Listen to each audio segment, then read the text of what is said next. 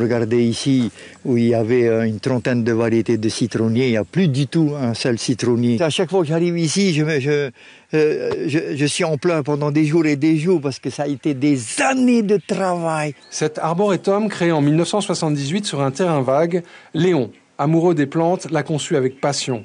Comme ces deux hectares où il a implanté au fil des ans une magnifique collection d'agrumes venus du monde entier.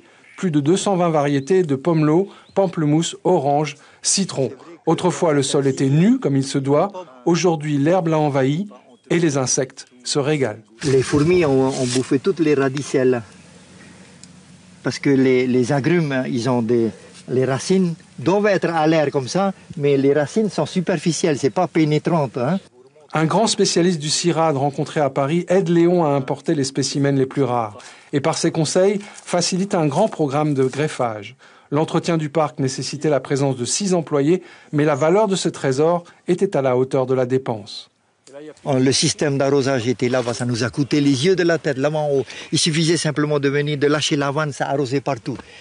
Des tuyaux ne peuvent pas disparaître comme ça du jour au lendemain. S'il y avait eu des personnes sérieuses ici au jardin, des responsables sérieux, ils auraient dit où est le tuyau qui est là, où est le brumeur qui était là et tout? En, en fait, ils se sont servis, il n'y a plus rien, il n'y a plus rien rien. Tout le monde s'en foutait. Et puis comme il n'y avait pas euh, de pression de la part du ministère auprès du responsable de l'agriculture ici pour venir voir s'il travaillait ou pas. Et donc euh, la négligence a fait que petit à petit, euh, ben, ça a dépéri complètement. Le président de l'époque, Gaston Floss, congédie le CIRAD et au fil du temps, le SDR diminue fortement le nombre d'employés sur place. Problème de départ à la retraite, nous dit-on.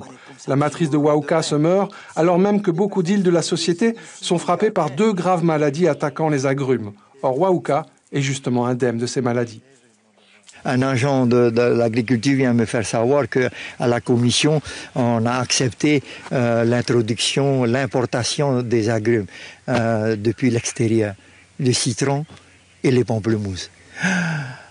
Mon Dieu, mon Dieu, quel gâchis. La direction de l'agriculture annonce aujourd'hui avoir débloqué un budget pour la restauration du site, mais avec seulement 18 variétés d'agrumes. S'il n'est pas déjà trop tard, des greffons pourraient repartir de Wauka d'ici un an et demi.